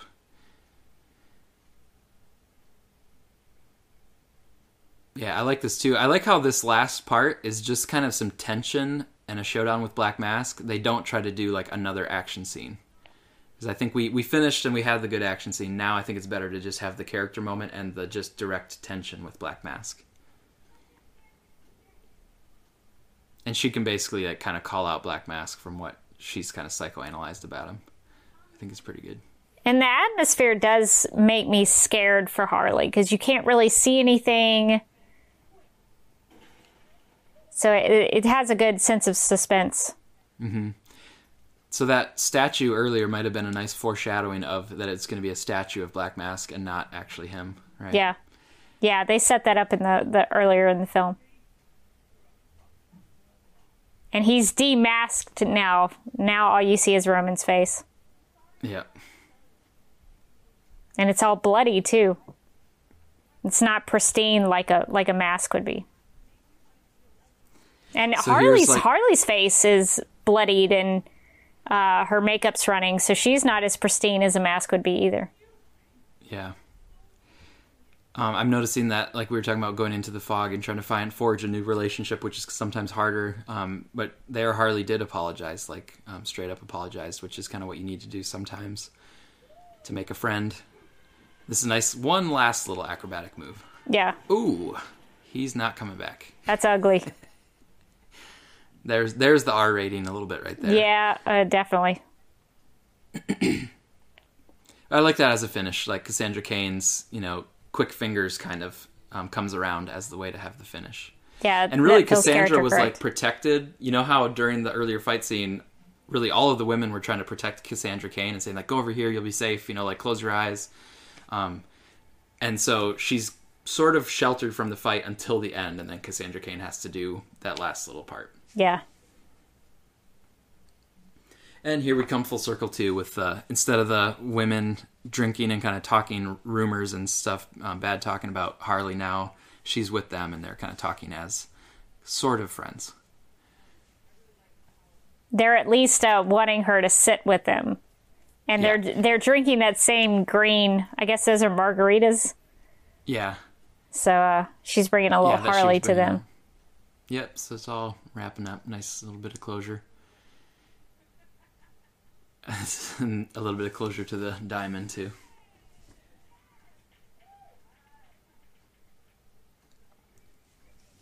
It's good to see Black Canary laughing and kind of she's this is like the most free that Black Canary has been, I think.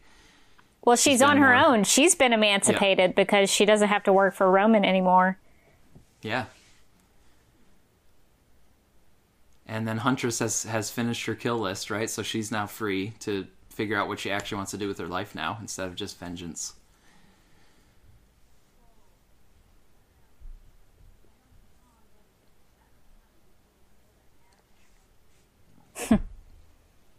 Montoya is sort of setting up the idea that uh, they might have to face somebody else.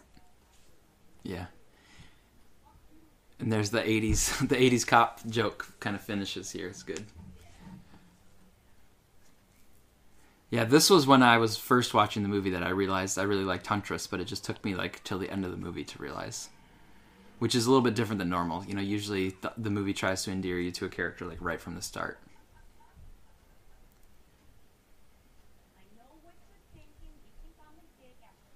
So to me, this is Harley.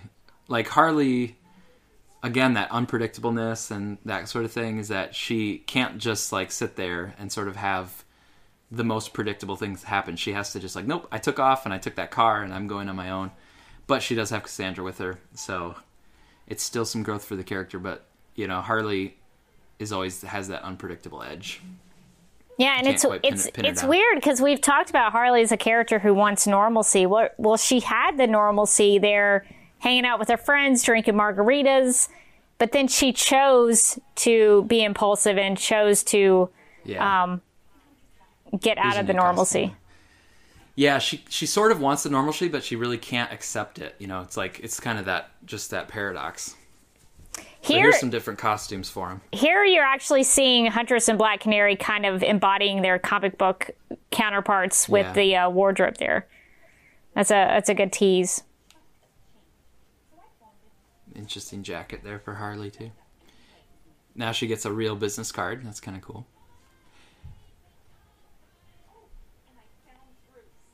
So you found Bruce, so that's a happy ending for that. And they get their breakfast sandwich. So it all comes around.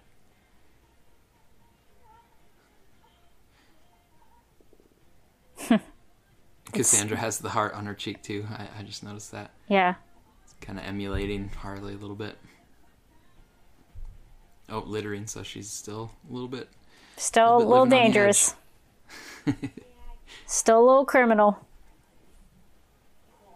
Harley's gonna Harley. Yeah.